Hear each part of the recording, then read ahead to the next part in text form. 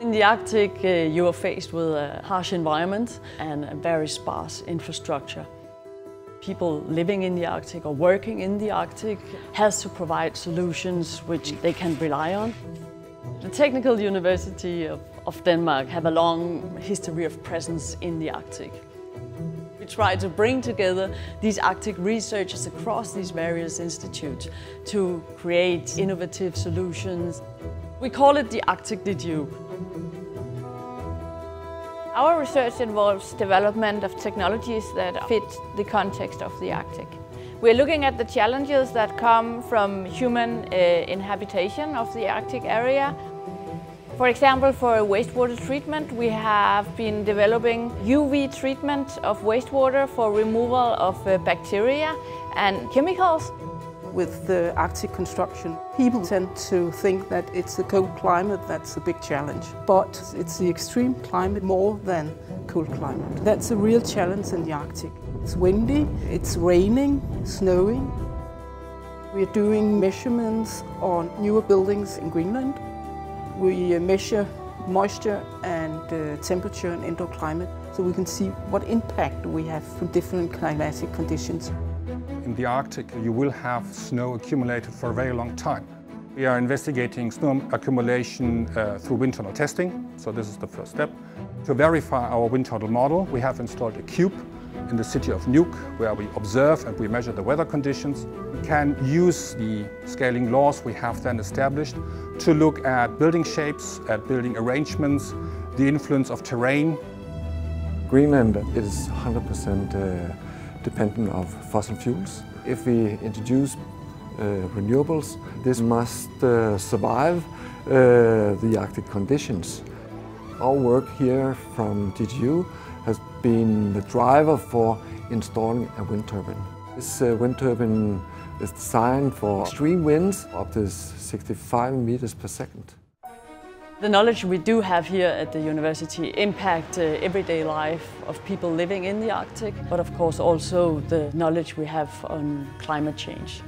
We try to combine and coordinate research in the air, at the ground and actually also at the sea. 25% of the Northern Hemisphere is affected by permafrost. Global permafrost has been warming over the past decade. Thawing permafrost results in, um, in a change in the mechanical properties of the soil, and that can result in damages to the infrastructure and buildings that are located in that area. DTU is part of uh, an EU project called Nunataryuk. Uh, this project looks at uh, climate change impacts on Arctic coastal communities. We're looking at a community called Ilulissat to model uh, the change in, in permafrost conditions over the coming decades for this particular community and to get uh, an idea of how permafrost may change under different climate change scenarios. My role in the EU project Nunataryuk is to look at uh, the fate of, of uh, permafrost organic carbon in the sea. Where does the carbon go? Is it staying in its organic form, i.e. just being washed out and diluted in the, in the world's ocean essentially? Or is it being turned into carbon dioxide by microbes in the sea? A lot of the work is about gathering water samples for us to find out what's where and what the conditions are. Uh, but we also carry out uh, degradation experiments. How fast can microbes in seawater degrade this organic matter and turn it into CO2? We're also using this uh, organic carbon as a tracer for ocean circulation and changes in ocean circulation. It is very important that we understand the feedback mechanisms from the warmer climate, how much water is running out on the ice sheet and what is the volume of that. Eventually it ends up in the oceans and gives us around the world uh, uh, an increasing sea level. We use a lot of uh, satellite information for measuring the, the sea ice extent and we can monitor changes uh, in it. We are primarily working with the European Space Agency. They have a, a cryosphere satellite called Cryosat-2.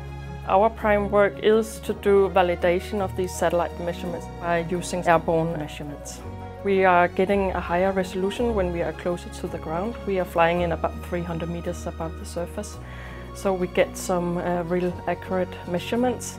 We also need some information on land, uh, so uh, we have put up GPS stations where we can monitor changes in, in the bedrock, in the height, when we have less ice sheet. less mass, then it will actually uh, increase. Finally, we use uh, measurements from the gravity field mission GRACE, where we can actually determine the mass changes that happens with the ice sheet. We develop Arctic solutions, uh, new insights and innovative way of working in the Arctic. And at the same time, we use that knowledge to train our students we have a Bachelor of Engineering education. The first three semesters are in Greenland where the students focus on field work.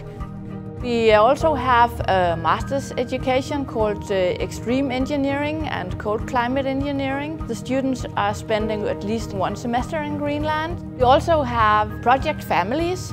Here students work on an individual basis on their projects, but around a common topic. They get the chance to discuss with each other, so they develop more and get better results. The work that we do in the Arctic and our presence in the Arctic results in, in engineering solutions that are tailored for these extreme conditions. These solutions have an impact on climate change discussions across the scientific communities today, but also have an impact on the environmental protections of the Arctic as a whole.